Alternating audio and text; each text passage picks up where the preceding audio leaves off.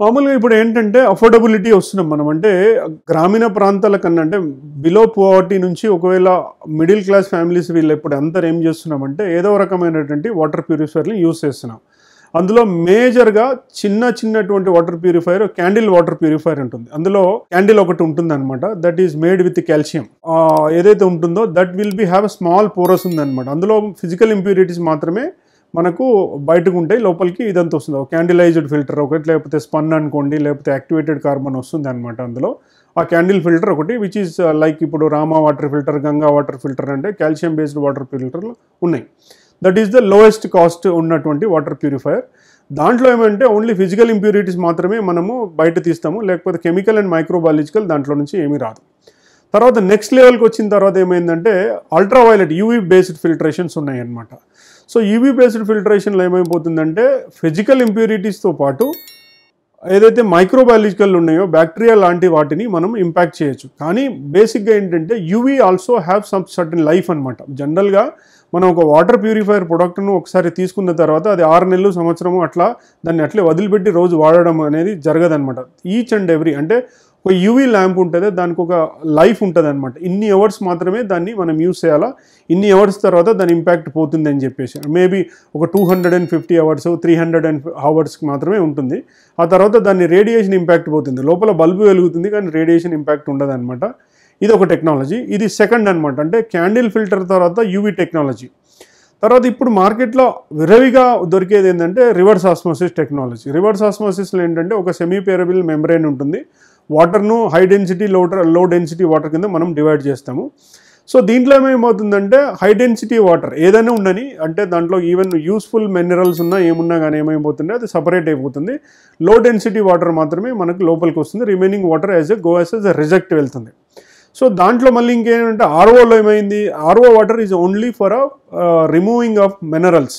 అంటే excess minerals కానీ లేకపోతే ఇదర్ మేబీ కాల్షియం కార్బోనేట్స్ ఉండని బైకార్బోనేట్స్ ఉండని తర్వాత ఏమంటారు మన ఫ్లోరైడో కానీ ఆర్సనిక్ కానీ ఇంకేదన్నా కెమికల్ ఇంప్యూరిటీస్ను అది ఇది చే అంటే ఎక్కువ ఉన్నటువంటి వాటిని మాత్రమే తీస్తుంది.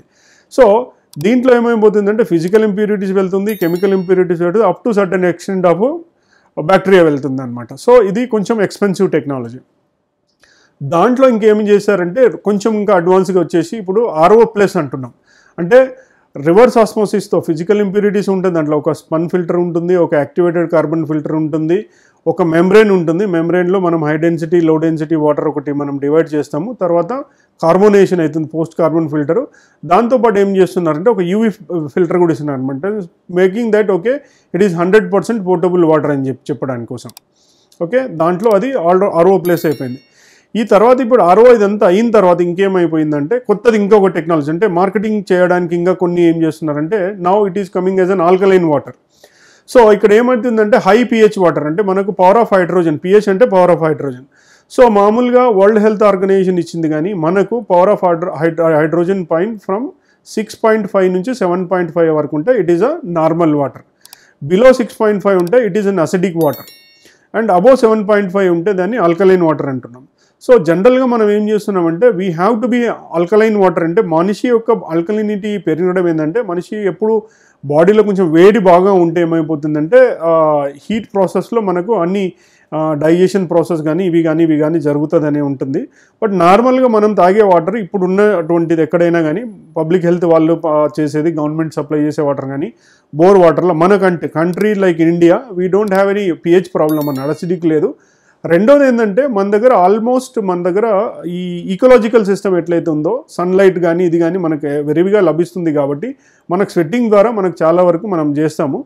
But still we're using alkaline ఫిల్టర్లు ఎఫోర్డబిలిటీ ఉన్న వాళ్ళు ఆల్కలైన్ ఫిల్టర్లు ఇప్పుడు ఏమైందంటే మోడర్న్ లైఫ్ స్టైల్లో lot of people using air condition almost all the time అనమాట ఇంట్లో నుంచి బయటకు వెళ్తే కార్లో ఏసీ ఉంటుంది రూమ్లోకి వెళ్తే ఏసీ ఉంది ఆఫీస్లో వెళ్తే ఏసీ ఉంది ఇంట్లో బెడ్రూమ్లో ఏసీ ఉంది. So this kind of people can use that alkaline water తర్వాత ఇంకోటి ఏమైందంటే మళ్ళీ మనం పాత రోజులనే గుర్తుకొస్తున్నాం అంటే రీసైక్లింగ్ అనేది అంటున్నాం కదా even technology also going to be recycle like మనం ఒకటి అంటాం చూసారా ఒకప్పుడు చదువురాని వాడు ఏం చేసేదంటే చేతి వేలి వేలి ముద్ద వేసేవారు.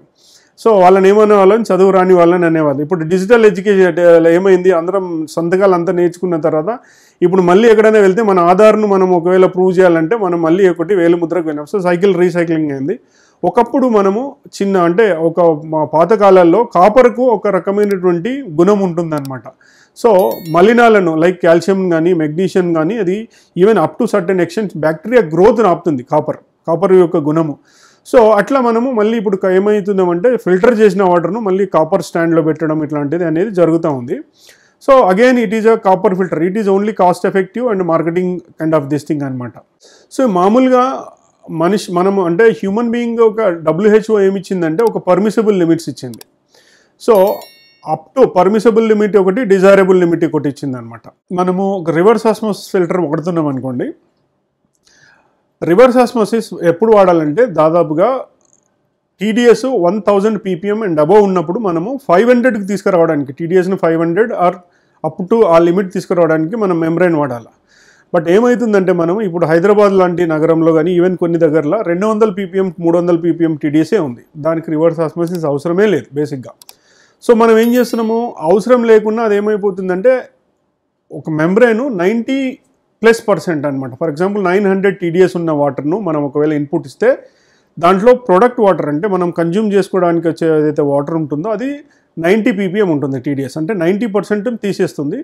టెన్ పర్సెంట్ మాత్రమే మనకు ఇది వస్తుంది అనమాట ప్యూర్ వాటర్ అంటాము లేకపోతే పర్మిసిబుల్ వాటర్ అంటాం. సో అట్లా మనం two hundred ppm three hundred ppm TDS ఉన్నటువంటి వాటర్ను మనము ఆర్ఓ సిస్టంలో ఇస్తే అది ట్వంటీ లేదా థర్టీ పీపీఎంకి వస్తుంది అనమాట కంప్లీట్ డి డీసాలినేషన్ వాటర్ అంటాం కదా డిస్టిల్ వాటర్ కిందకి వస్తుంది మనకు. నో ఎలక్ట్రో కండక్టివిటీ ఉండదు.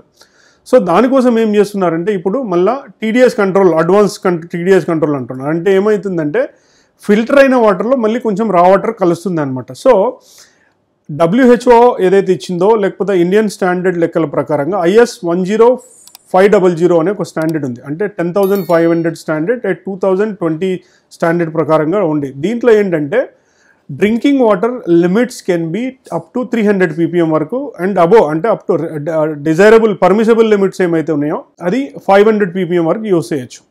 అబోవ్ ఫైవ్ హండ్రెడ్ ఉంటే ఇది ఓన్లీ ఎప్పుడైనా అవసరం డిజైర్ ఇంకే అర్జెంట్ ఉంటేనే తాగాలి కానీ it is not a portable so ఒకవేళ thousand and two thousand ppm TDS ఉన్న వాటర్ని మాత్రమే యూస్ చేయాలంటే మనము రివర్స్ ఆస్మోసిస్ వాడాలి.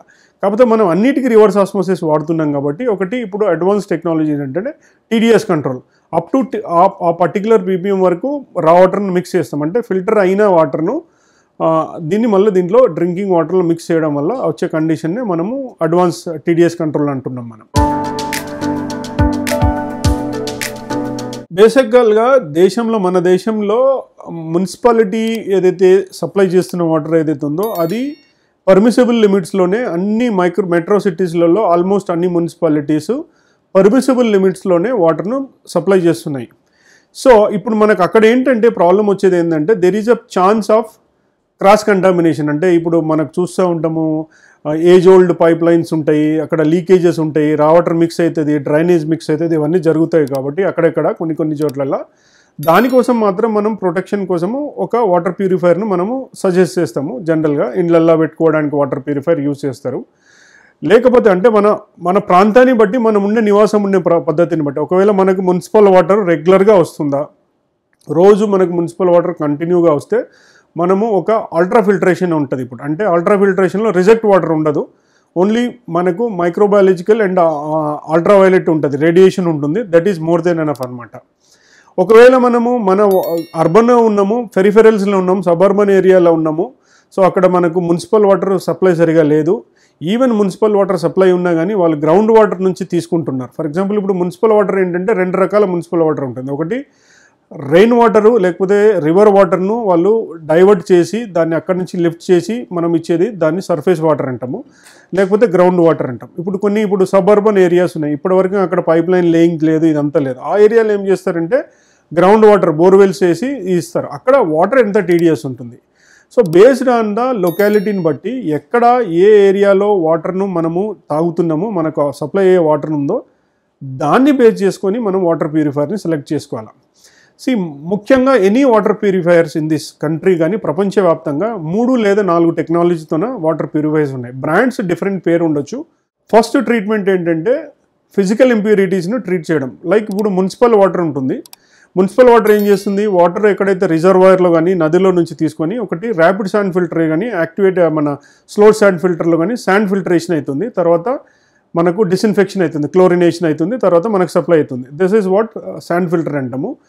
అపార్ట్ ఫ్రమ్ శాండ్ ఫిల్టర్ కాకుండా ఇప్పుడు వచ్చిన టెక్నాలజీలు ఏంటంటే రివర్స్ ఆస్మిస్ ఒకటి అల్ట్రా ఫిల్టరేషన్ ఒకటి యూవీ టెక్నాలజీ ఇవన్నీ డిఫరెంట్ డిఫరెంట్ టెక్నాలజీ ఇవే టెక్నాలజీ అనమాట ఉన్నాయి నాలుగే టెక్నాలజీస్ డిఫరెంట్ బ్రాండ్స్ డిఫరెంట్గా వాడుతూ ఉన్నారు. డిఫరెంట్ వేలో వాళ్ళు ప్రజెంటేషన్ ఇస్తూ ఉన్నారు. బట్ టెక్నాలజీస్ ఆర్ సేమ్ అనమాట సో మనము మన ప్రాంతాన్ని బట్టి మన నివాసం ఎక్కడ ఉన్నది అక్కడ ఆ ఏరియాని బట్టి మాత్రమే మనము టెక్నాలజీని యూస్ చేసుకోవాలా? అదర్వైజ్ మనం ఏంటంటే మన అఫోర్డబిలిటీ ఉందని రాంగ్ టెక్నాలజీని మనం సెలెక్ట్ చేసుకోకూడదు. అంటే హైదరాబాద్ లాంటి మున్సిపల్ ఏరియాలో రివర్స్ ఆస్మోసిస్ సిస్టమ్ అవసరం లేదు. కానీ నైంటీ పర్సెంట్ జనాలు రివర్స్ ఆస్మోసిస్ వాడుతున్నారు. దానివల్ల పర్యావరణానికి లాభం లేదు మనిషికి కూడా లాభం లేదు. అంటే వేస్ట్ వాటర్ను మనము జస్ట్ డ్రైనేజ్లో పంపిస్తున్నాము. తర్వాత హెల్త్కి కూడా అంత మంచిది కదా. లో టీడీఎస్ వాటర్ను తాగుతూ ఉన్నారు కాబట్టి. సో వీలైనంత వరకు మంచినీళ్ళు అంటే అట్లీస్ట్ ఒక హండ్రెడ్ అబోవ్ పీపీఎం టీడీఎస్ ఉండాలా? బిలో హండ్రెడ్ పీపీఎం టీడీఎస్ ఉండడం మాత్రం సజెస్టబుల్ కాదు.